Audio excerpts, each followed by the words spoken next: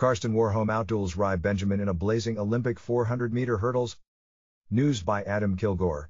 Tokyo, Rai Benjamin cleared the final hurdle, and suddenly there the two of them were, Benjamin and a blonde-haired Norwegian whippet called the Terminator, the only man who separated him from forever.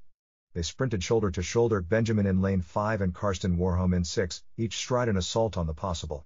Warholm had created a sliver between them, but Benjamin had waited for this moment for two years, since their showdown at the World Championships. Benjamin summoned a kick. Warholm summoned his too, and the margin grew. Tuesday morning under oppressive humidity at National Stadium, Benjamin broke his rival's world record. He ended up with a silver medal, because Warholm did so too.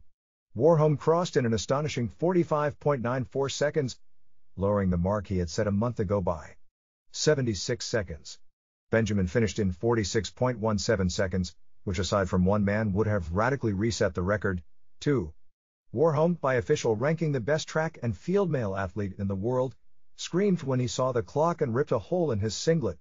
Benjamin, the University of Southern California alum of Antiguan heritage, crouched on the ground and gulped for air, looking at the track with a shocked countenance framed by a white headband.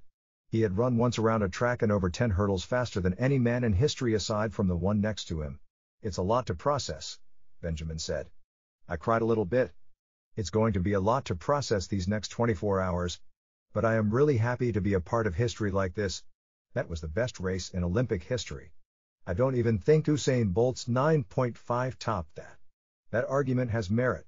Brazilian bronze medalist Alison dos Santos finished in 46.72 seconds, which nearly broke Warholm's previous record and would have obliterated Kevin Young's, which stood from 1992 until Warholm seized it last month. Warholm and Benjamin ran faster than the 1956 Olympic gold medalist in the 400 meters, without the hurdles. Six of the eight runners broke at least a national record. Participation bestowed honor. When people look up that race, they're going to see my name, said fourth place finisher Kyron McMaster of the British Virgin Islands. In track and field circles, the race advanced the debate over where the line stands between human achievement and technology.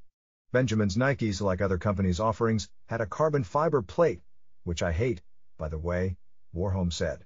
The track's vulcanized rubber granules made it feel like no surface was there, McMaster said. At National Stadium already, world records have fallen in the triple jump and 400 meters hurdles, along with the 33 year old women's 100 meters Olympic record. Benjamin rejected the notion. He allowed that shoes and surfaces matter, but that advances in human capacity, not technology had delivered Tuesday's epic. Give him different shoes, he said, and he'll run just as fast. No one in history is going to go out there and do what we just did, Benjamin said. Ever. It could be Kevin Young, Edwin Moses. All respect to those guys. But they cannot run what we just ran. What they had run defied belief, even for the participants. Warholm believed his old record would fall Tuesday as he and Benjamin pressured one another, but only to about 46.5 seconds. Benjamin had expressed belief the record would fall below 46 seconds someday. No one thought it would be Tuesday. If you would have told me I would run 46.1 and lose, I would probably beat you up and tell you to get out of my room, Benjamin said. And what if you had informed Warholm, pre-race, the time Benjamin would run? I would have put myself on the first flight home, Warholm said. Warholm made his presence felt from the gun. Running one lane to the inside, Warholm could not see Benjamin, but Benjamin could see Warholm.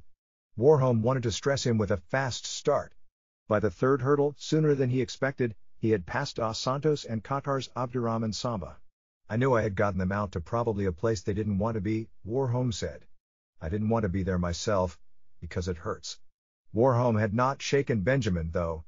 Benjamin saw nothing for the first three hurdles other than his own lane. Benjamin looked up after clearing the third. All right, Benjamin thought. I'm in this. Before the fourth hurdle, Benjamin fell out of his rhythm and chopped his steps. As a result, his stride remained off leading into the fifth hurdle. He knew Warholm had created space between them. Once he landed over the fifth, with the turn ahead, he thought, I'm going to get this guy. Benjamin saw the distance begin to close. Between the ninth and tenth hurdles, Warholm ran 15 paces rather than 13, knowing the pressure to close was on Benjamin, wanting to conserve for the final sprint. Over the final hurdle, Benjamin had shrunk the gap almost entirely. After that, Warholm said, I just ran with my life. Warholm inched ahead of Benjamin until it became clear he would win gold. Benjamin believed he could have caught Warholm in a longer race. You just freaking run out of space, he said. Warholm did not feel confident until he crossed the line and glanced at the clock. Benjamin saw 45.94 and thought, what the hell? He saw 46.17 and thought, this can't be right. Warholm congratulated Benjamin. Benjamin could not respond, too dazed by the times. He looked forward to embracing him in the athletes' village. I feel sorry for him taking the silver at 46.17, Warholm said. That would deserve a gold medal as well. Benjamin planned to watch the race to study what he perceived as crucial mistakes, especially those chopped steps. It seems like an unfair task to extract fault from a faster race than anybody had run before. There's a lot of things I could have done differently, but at the same time, how could you know? Benjamin said, I never ran that fast before. In the moments after the race, Benjamin began to look ahead. He will race again here in the 4x400 meters relay, alongside his best friend Michael Norman. He noted that the 2022 World Championships, his next shot at Warholm in a major event, will be held in my backyard, in Eugene, Oregon. Benjamin still grappled with an unprecedented mixture of accomplishment and disappointment, and with a margin that invited the latter. 45-9 man, Benjamin said. 46-1. And lost. Benjamin had done more than anyone could have imagined, and still won silver. He was greater than great on the only day, against the only man, when it was not good enough. Karsten Warholm outduels